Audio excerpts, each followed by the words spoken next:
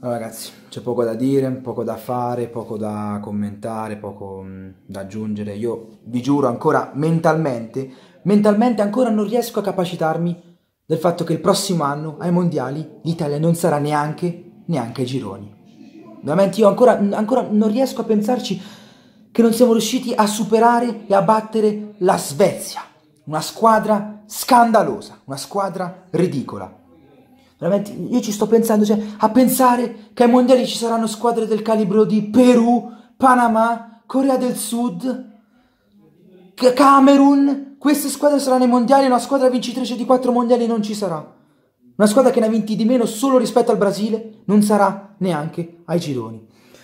Allora ragazzi, prima di parlare bene di questa partita, bisogna dire una cosa. Non riuscire a fare neanche un gol contro la Svezia in 180 minuti è una cosa francamente ridicola. Poi possiamo dire quello che vi pare. Possiamo dire che oggi non sono stati fischiati 5 rigori, 4 rigori, 2 per parte, che all'andata c'è detto sfortuna con il gol subito, tutto quello che vi pare. Però una squadra come l'Italia, nettamente più forte dal punto di vista tecnico rispetto alla Svezia, doveva quantomeno fargli un gol. Io non pretendo che dovevamo vincere 5-0 all'andata e 6-0 al ritorno. Un gol dovevamo fare.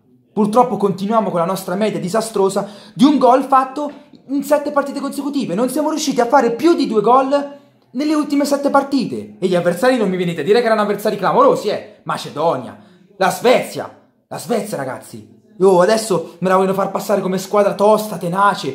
Ci ha messo grinta. Ma grinta di che? Una squadra di clamorosa. Una squadra ridicola. Una squadra veramente ridicola. In questa partita li abbiamo dominati dal punto di vista offensivo. Qual è il problema però, come ho appena detto? Che non segniamo. Abbiamo messo tutti i peggiori attacchi, attaccanti a, pa- a parte Insigne, peggiori nel senso tutto, tutti gli attaccanti disponibili, non siamo riusciti a fargli un gol. Abbiamo messo Immobile, Belotti, Bernardeschi, Florenzi che comunque è offensivo, Candreva e Sharawi. E non siamo riusciti a fare neanche un gol contro la Svezia. Questa è una cosa che io non capisco. Questa cosa è una cosa che non capisco che va oltre l'indecenza di, di, di, del, De Ventura, l'indecenza di tutta la FGC, di tutti quanti. Questa è una cosa che va oltre, veramente.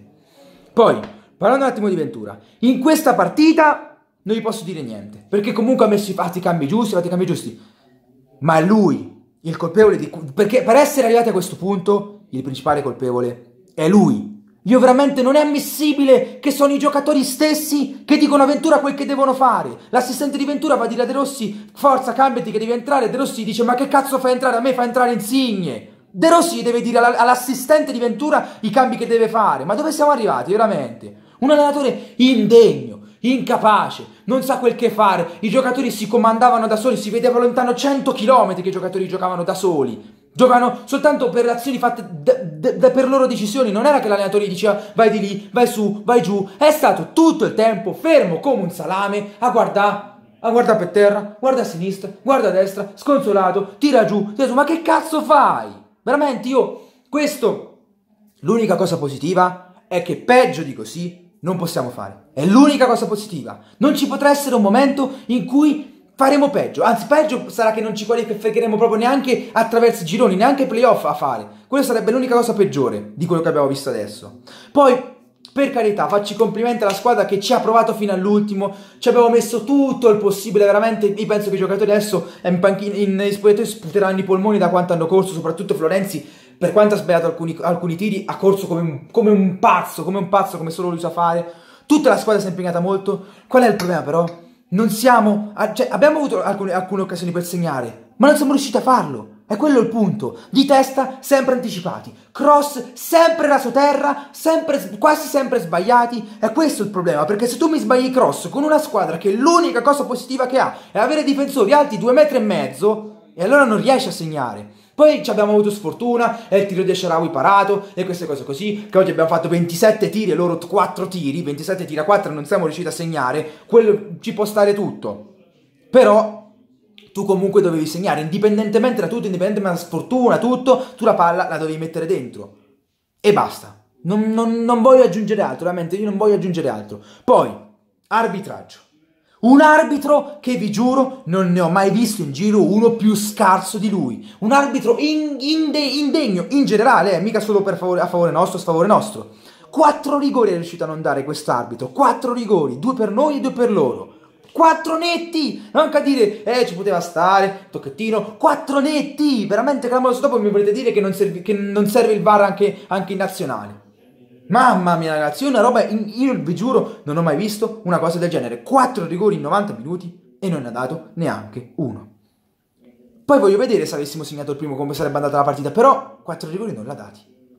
Arbitro che si, rivelato, che si è rivelato incapace indegno e inadatto per l'importanza di questa partita. Solo questo voglio aggiungere.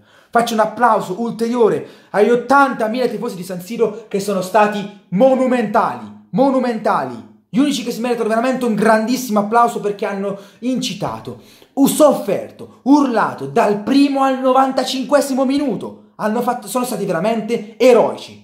Veramente bravissimi a tutti i tifosi che hanno inneggiato fino all'ultimo secondo, quasi a voler spingere loro la palla dentro la porta, cosa che purtroppo non è successa.